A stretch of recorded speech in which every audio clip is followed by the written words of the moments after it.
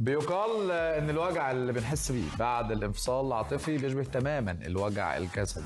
في مرات كتير على قد ما بنكون متعلقين بالشخص اللي بنحبه وخسرناه بنلاقي طبعا صعوبة كبيرة إننا نتعافى من الصدمة وألم الابتعاد عن شخص كان كل حاجة في حياتنا بيكون واقعه كبير جدا علينا خاصة على صحتنا النفسية اللي وجعها في مراحل كتيره وبيكون مسبب لكل وجع جسدي مش بيتساوى بيه بس. كيف نقدر نتخطى هيدي المرحلة بحال مرقنا بتجربة انفصال صعبة؟ خاصة إنه بنعيش مع مشاعر مختلطة بهيدي الفترة. مثلا عم نحكي عن الشك، الخوف، الشعور بعدم الأمان، يعني نحن عم نحكي عن النصايح يلي ممكن تساعدنا. وشو هي مراحل التخطي الخمسة يلي نحن طبيعي نمرق فيها لنتعافى من هيدا ال break up، رح رح نعرف أكثر على هيدي التفاصيل مع الدكتور مصطفى نحاس استشاري نفسي، أهلا وسهلا فيك دكتور مصطفى النحاس. يا دكتور مصطفى إزيك؟ يا أهلا الحمد لله تمام. إيه الأخبار؟ يعني إحنا هنهدي الإضاءة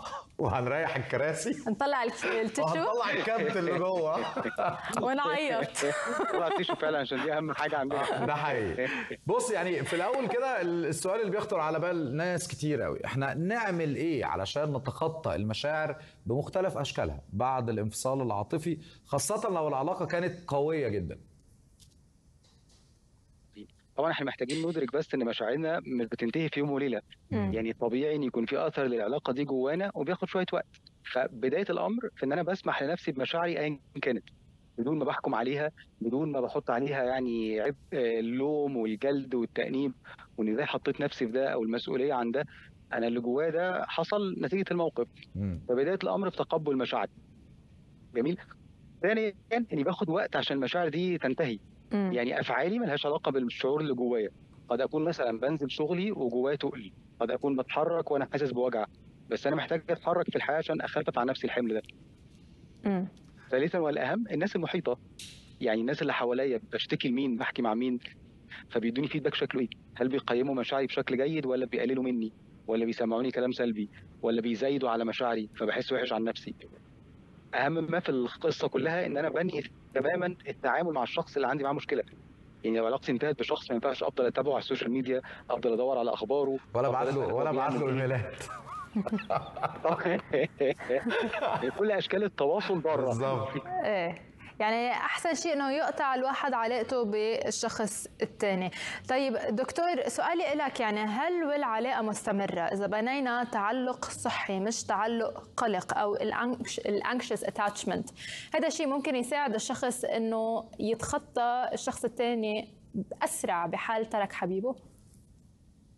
طبعا هو هو القصة كمان مش بس أسرع هو يتخطى بشكل آمن. مم. يتخطى من غير ما يسيب جواه جرح عميق يعيش معاه. يعني المشكلة لو عندي نمط تعلق مرضي زي ما حضرتك بتقولي كده anxious attachment عندي مشكلة في التعلق القلق أو avoidant اجتنابي يعني ايا كان النمط اللي عندي لو في اضطراب بيخلي نهاية العلاقة أصعب بكتير حتى لو أنا اللي مختار وأنا اللي واخد القرار النهايه بتبقى فيها صعوبة. فإن أنا بعرف أوصل لشكل متوازن في العلاقة بيكون في تعلق مرضي بيكون في مشاعر جيدة رايحة جاية فده بيخلي الأمور أسهل عليا. ولما بتخطى مش بيسيب جوايا أثر سيء فبعرف أعيش بسلام أحسن بكتير. تمام. هو آه، يعني مصطفى هو إيه الأصعب؟ إن إحنا نتخطى ال- ال- الإكس. التعلق بحد ذاته والمشاعر اللي كانت موجودة ولا مشاعر الغضب والحزن إن هو ليه سابني أو سابتني؟ ما هي المشكلة إن التساؤلات دي بتفضل معانا الفترة يعني أحد مراحل التخطي إن بيكون عندنا حالة كده من المساومة. اني لو عملت كذا كنت قدرت أحافظ عليه. إحساسي بالذنب بيخليني طول الوقت بدور على أسباب عايز سبب منطقي مخي يستوعبه هو ليه سابني ومشي. فبفضل أدور على كل الأسباب الممكنة. قد أكون بلوم نفسي قد أكون بلوم الظروف بلوم الدنيا على اللي أنا وصلت له. فأنا بدور على حد أحمله الذنب عشان أرتاح. فده اللي بيخلي التخطي أصعب. إن أنا بفضل واقف عند السؤال بتاع هو سابني ليه؟ هو حبني ولا ما حبنيش؟ هو كان بيضحك عليا كان بيكذب عليا. هو جايز حبني بس ما عندوش استعداد يبذل مجهود. جايز حبني بس هو شخص مش أمين كفاية. يعني الحب مش مبرر للأذى. في أشخاص بتحب بس تعمل أشياء سلبية فانه حبني أو لا مش هو الموضوع. المهم أنا عارف أحب نفسي ولا لأ يعني عارف أحتوي وجعي ولا لأ هو ده الأهم. يعني دكتور كلامك أشعار مبدئيا كثير هيك عم عم بيضرب بالصميم. مبدئيا.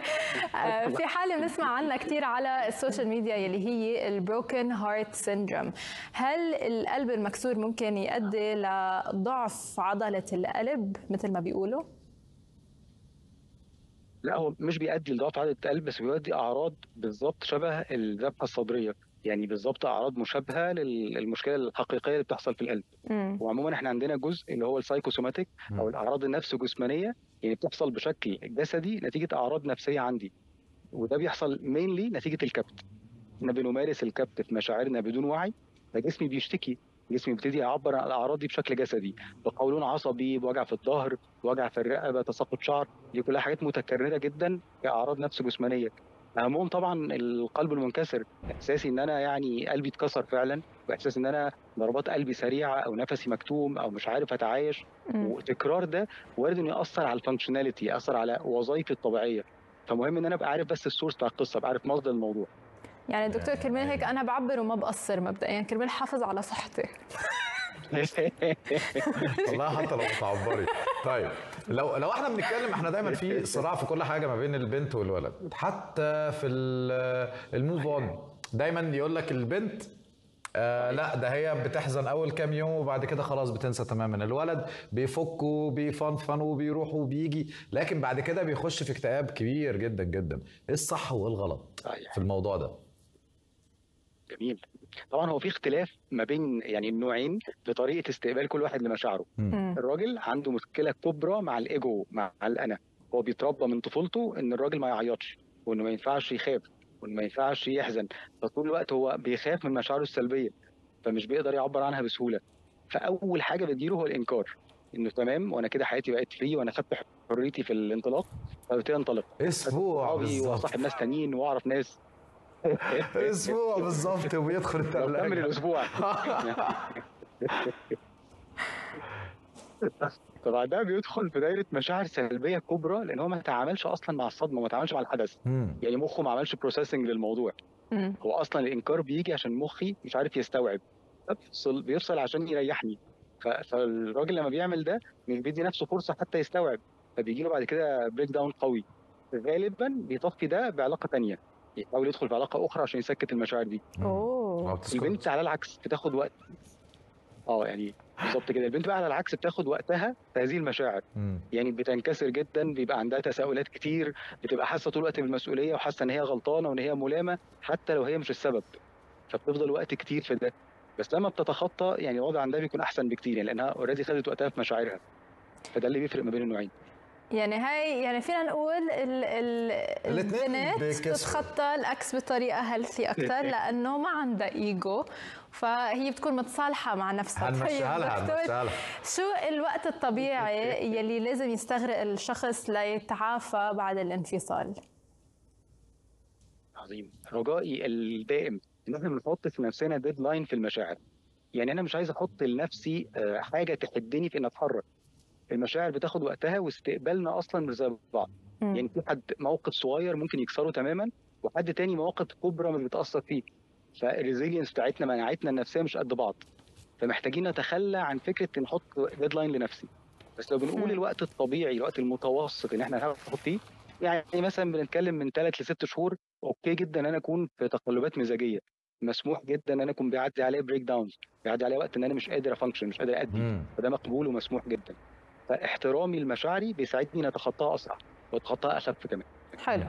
هو ال ال بيفرق إذا كان ال- ال couple سايبين بعض بمشكلة وخناقة وانت عارف تكسير عظام ولا آه، يسيبوا بعض بسلام ومتفاهمين هما الاثنين طبعا بيفرق بيفرق إنه بيخلي جوانا يعني هي القصة كلها أكتر حاجة بتصعب التخطي هو علاقتي بنفسي.